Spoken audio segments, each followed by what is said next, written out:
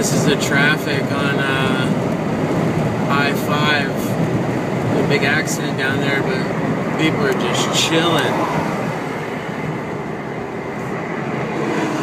They're out of their cars.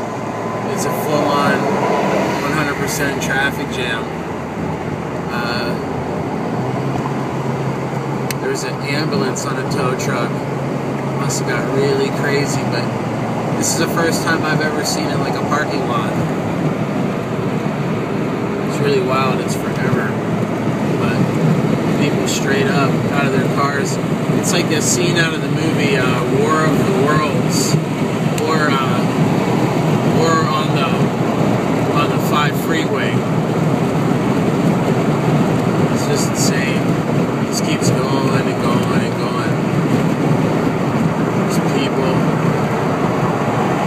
people standing on the walls. They made their dream come true. I'm standing on the divider.